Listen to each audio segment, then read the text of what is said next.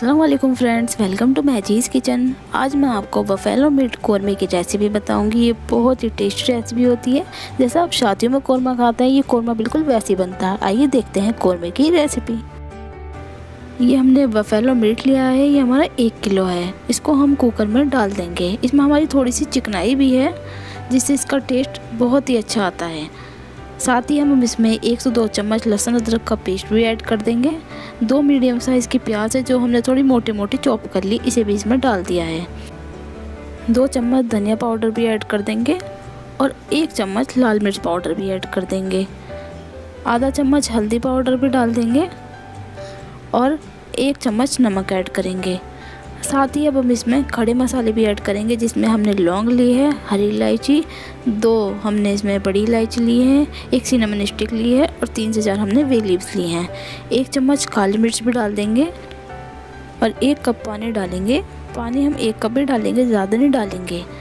और इसको हम तकरीबन 20 से 25 मिनट तक लो फ्लेम पे पकाएँगे। 25 मिनट हो गए गैस फ्लेम बंद कर देंगे। आप देख सकते हैं जो हमारा गोश्त है, वो गल गया है। एक बार चेक कर लेते हैं। देखिए फ्रेंड्स हमारा जो गोश्त है, वो अच्छे से गल गया है। अब एक भगोने में हम एक कप ऑयल डालेंगे। ऑयल हमने मस्टर्ड ऑयल लिया है। ऑयल गर्म होने के बाद उसमें हम प्याज डालेंगे चॉप करके। आप देख सकते हैं, मैंने दो मीडियम साइज़ की प्याज ली है, जिसको बारीक बारीक चॉप कर लिया है। प्याज को हमें गोल्डन ब्राउन होने तक भूनना है। आप देख सकते हैं, जो प्याज का कलर है, वो गोल्डन ब्राउन हो गया है। अब हम प्याज को निकाल लेते हैं। प्याज भुनने के बाद अब हम इसमें दो मीडियम साइज़ की प्याज ली थी जिसको हमने मिक्सर में ग्राइंड कर लिया। उसको भी हमने ऑयल में डाल दिया है और दो चम्मच हमने लहसुन अदरक का पेस्ट भी डाल दिया है। इन सभी चीज़ों को हम तेल में अच्छे से भून लेंगे।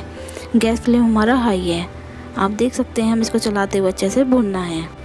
मसाला भुनने में तकरीबन दो से तीन मिनट लगेंगे।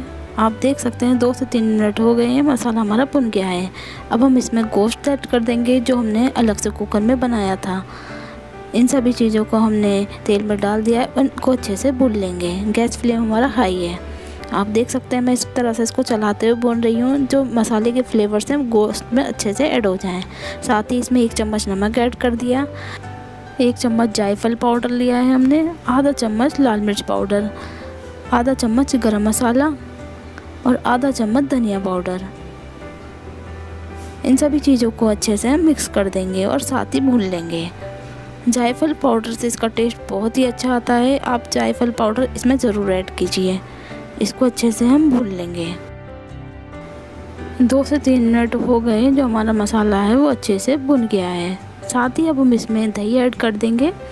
दही हमारे 250 ग्राम है। दही में हमने थोड़ी सी प्याज भी मिलाई थी, जो हमने भून के रखी थी, वो हमने प्याज मिला दी थी, उसको भी हमने इसमें डाल दिया है। दही को अच्छे से इसके साथ मिक्स करेंगे और भून लेंगे। इसे भी हम तीन से चार मिनट तक ही भूनेंगे।